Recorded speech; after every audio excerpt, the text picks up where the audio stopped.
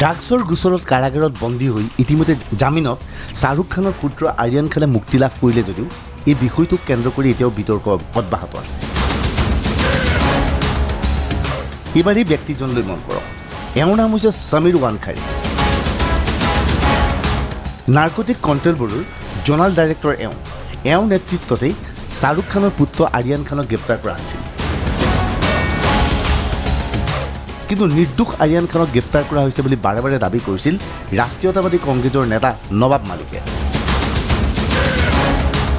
আৰু নবাব মালিকে আৰিয়ানৰ হৈ যুক্তি প্ৰদৰ্শন কৰিবলৈ গৈ সমীৰ ৱানখাৰেৰ বিৰুদ্ধেও গুৰুতৰ অভিযোগ উত্থাপন কৰিছিল। অভিযোগ কৰিছিল সমীৰ ৱানখাৰে আৰিয়ানক জামিনত মুক্তি দিয়াৰ বাবদ প্ৰায় ওঠৰ কোটি টকা দাবী কৰিছিল।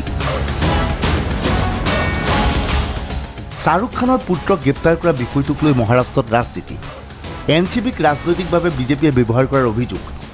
ৰাষ্ট্ৰীয়তাবাদী কংগ্ৰেছৰ নেতা নবাব মালিকৰ পুনৰ আক্ৰমণ তদন্তকাৰী বিষয়া সমীৰ ৱানখাৰীক এই সমীৰ ৱানখাৰীৰ পৰিয়ালক লৈ নবাব মালিকে বাৰে বাৰে অভিযোগ উত্থাপন কৰিছে। ইতিমধ্যে নবাব মালিকে টুইটাৰ যোগে বাৰ্থ চাৰ্টিফিকেট সন্মুখলৈ আনিছিল য'ত কোৱা হৈছিল সমীৰ ৱানখাৰী আচলতে মুছলমান পৰিয়ালত জন্ম হোৱা। সমীৰ ৱানখাৰীৰ মাতৃ আছিল মুছলমান। সমীৰে বিয়া পাতিছে মুছলমান যুৱতীক তথাপি ভুৱা নথি পত্ৰৰে নিজকে অনুসূচিত জাতি বুলি দাবী কৰি গুৰুত্বপূৰ্ণ বুলুপি লৈছে এই বিষয়ত অভিযোগ কৰাৰ পিছতো সহযোগ কৰিছে বিজেপিয়ে मीडिया से बात की परसों उन्होंने कहा था कि समीर दाऊद वानखेड़े ने कोई भी धर्म परिवर्तन नहीं किया चौंकाने वाली बात है कि एक वैधानिक पद पे बैठा हुआ व्यक्ति, जिसके ऊपर सवाल खड़े हो रहे हैं कि मुस्लिम होते हुए फर्जीवाड़ा करके, फर्जी दस्तावेज़ पर शेड्यूल कास्ट का सर्टिफिकेट बना के सरकारी नौकरी हासिल करने का काम किया। अरुण हलदर जी एक वैधानिक पद पे बैठकर उस व्यक्ति के घर जाते हैं जिसके ऊपर शक की सुई है। उनके घर पे जाकर कागजात उलट पुलट कर देखते हैं और क्लीन चिट दे देते हैं कि दस्तावेज़ सही है। उसके बाद देश के सोशल जस्टिस राज्य मंत्री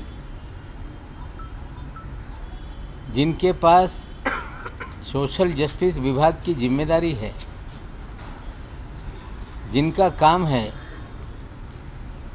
जो देश में शेड्यूल कास्ट जाति के लोग हैं, उनको न्याय देने का काम करे, उनके साथ जस्टिस हो, वे स्वयं बैठकर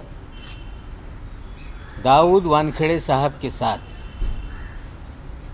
प्रेस वार्ता को संबोधित करते हैं और जिसने फर्जीवाड़ा करके सर्टिफिकेट लिया उसका समर्थन करते हैं ये दुर्भाग्यपूर्ण है সমীৰ ৱানখেৰে নতুন দিল্লীত অনুসূচিত জাতিৰ অধ্যক্ষক সাক্ষাৎ কৰি সকলো তথ্য দাখিল কৰে हिमांशु हटा लो ना भाई। मुझे सिर्फ़ एक बात कहनी है जी। कि जो कोई भी ऑनरेबल हमारे जो कमीशन है एससी कमीशन है जो कोई भी डॉक्यूमेंट्स उन्होंने मांगा है जो कोई भी तथ्य मांगा है तो उनके सामने प्रस्तुत किया गया है अभी। और जो मेरी शिकायत है जो मेरी कंप्लेंट है हाँ। उसकी वेरिफिकेशन भी होगी हाँ और जल्द आपको ऑनरेबल चेयरपर्सन सर उसका जवाब এই বিতৰ্ক অব্যাহত থকাৰ মাজতেই নবাব মালিকে টুইটাৰ যোগে এখন ফটো পোষ্ট কৰে এই ফটোখনত দেখা গৈছিল দেৱেন্দ্ৰ ফাৰ্ণাণ্ডেছৰ পত্নী এজন ড্ৰাগছ মাফিয়াৰ সৈতে একেলগে আছে ইয়াক কেন্দ্ৰ কৰি আৰম্ভ হৈ গৈছে বিতৰ্ক उस समय नवाब मलिक जी ने ये नहीं देखा कि उसके फ़ोटो तो मेरे साथ भी है। लेकिन मेरे साथ के फ़ोटो उन्होंने ट्वीट नहीं किए क्योंकि उनको पता था कि इसकी वैल्यू कम हो जाती है, क्योंकि मेरे साथ तो किसी का भी फ़ोटो खींचा जा सकता है। इसलिए मेरे पत्नी के साथ का फ़ोटो जानबूझकर उन्होंने ट्वीट किया है।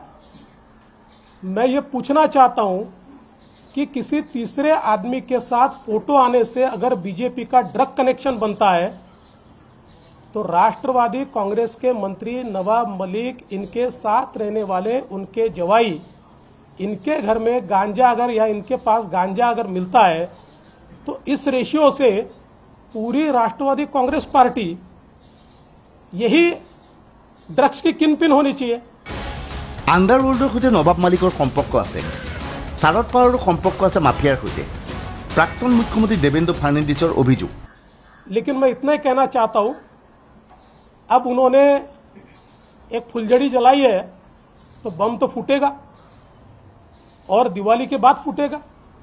और दिवाली के बाद नवाब मलिक इनके अंडरवर्ल्ड के साथ क्या संबंध है, इसके सबूत मैं आपको भी दूँगा।